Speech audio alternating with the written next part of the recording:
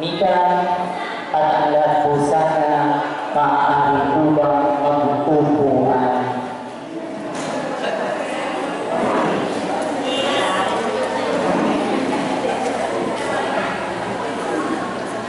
Uh,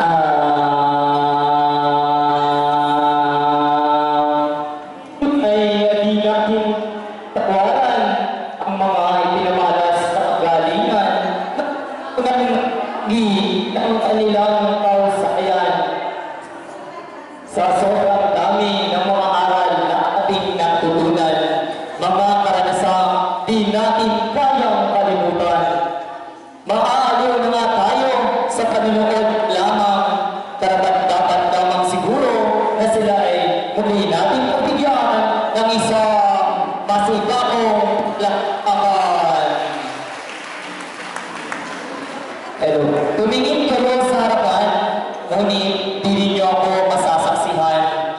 ngayon, tingin kayo sa tagiliran, sa kaliwa, o kaya ay sa kanan. Pero huwag kayong mag-alala pagkat wala ako riyan. Nagkatakot ah, sa gawing liguran. Uh, pero as, as sa inyo'y makita, syempre,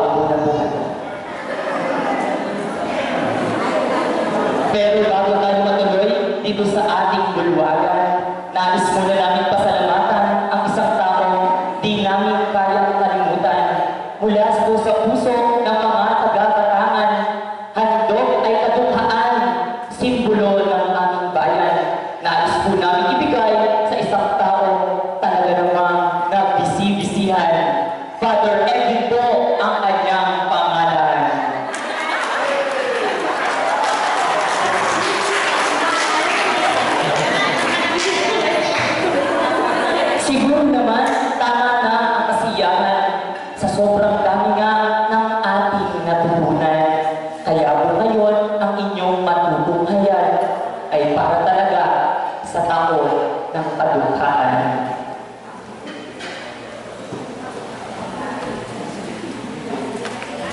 Lingin po sa inyong kaalaman na tayo ay dumadanas ng tunay na kahirapan.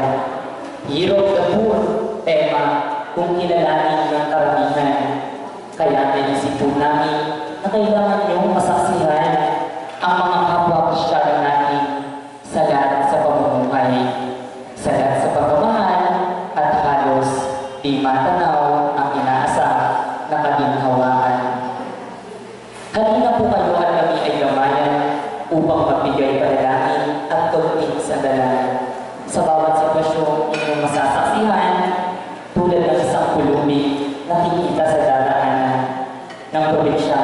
lungsod ay nakikipagsapalaran ng mga tao na titinda sa linsanan at mga bilanggo na kapitin sa pulunan. Ang mga pulubi. Sila po ang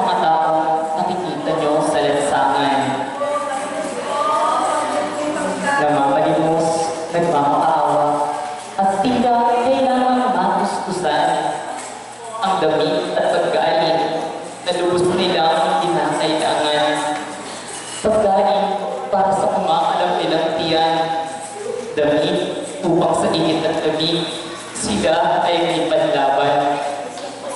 Kristiyano ba kaya tayong tunay kung sila ay ating nilalampasan? Kung sila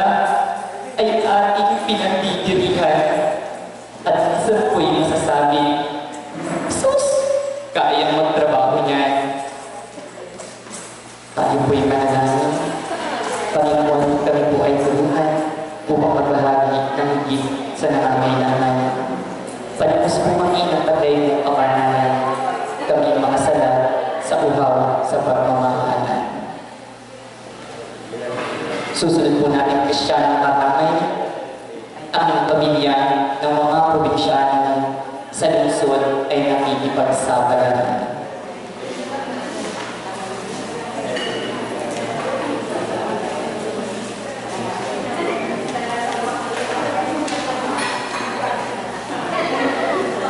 Sila ang mga tao tunay na nangangarap na sa lungsod ay umaasa ng magandang hinaharap.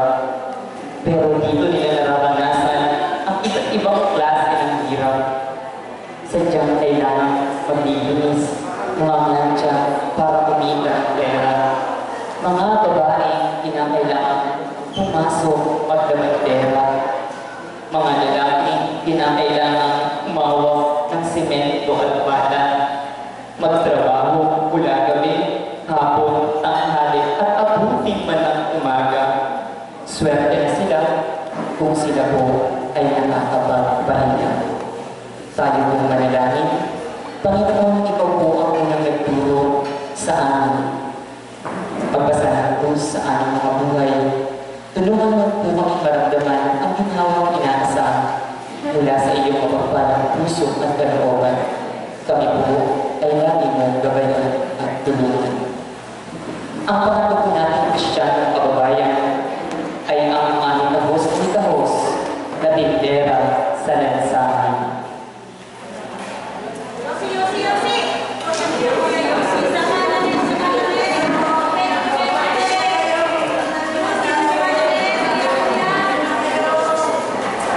Yosi, Yosi! Sila ang mga tao nagtitinda buong araw sa lansangan. Usok ng sasakyan ang pabango sa kanilang mga katawan. Wala silang alam na ibang pangkabuhayan. Kaya sila nakikipagpatintero sa mga sasakyan para lang makabenta at may mailagay sa sikmura nilang kumakalam. Tayo po manalangin.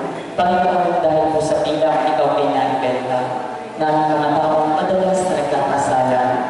Hayaan po ninyo kami ay gumawa ng paraan upang maalapit sa iyong banal na kalooban.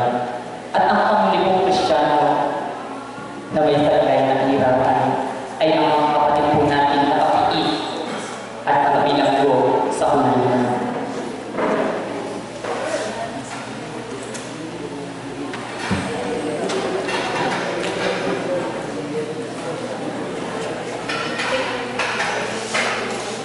Sila ang mga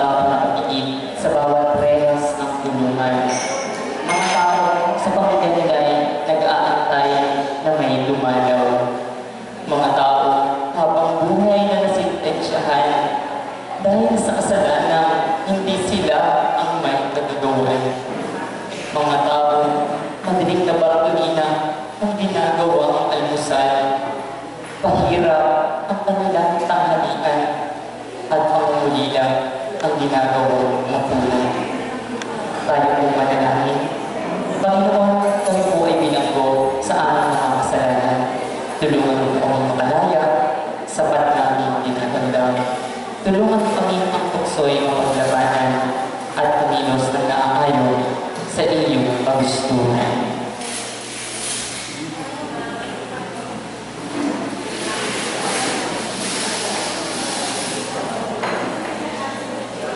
Pong mga natungayan ay idanda sa paghihirap na dinadanas nating mga kababayan. Kaya siguro maaari tayong mga pari, reliyoso o mga katikista ang kanilang inaasahan. Kaya po kami mula sa Archdiocese ng Lipa ay nag-iiwan ng isang mensahe kinakailangan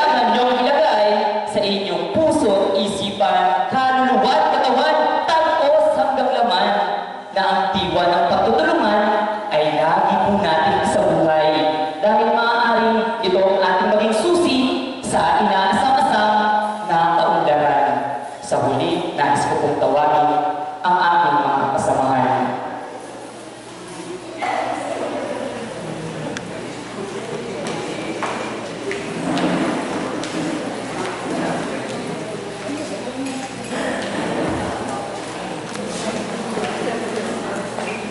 kami po sana'y mag-iwan ng isang hindi mensahe lamang, hindi pang katatawanan,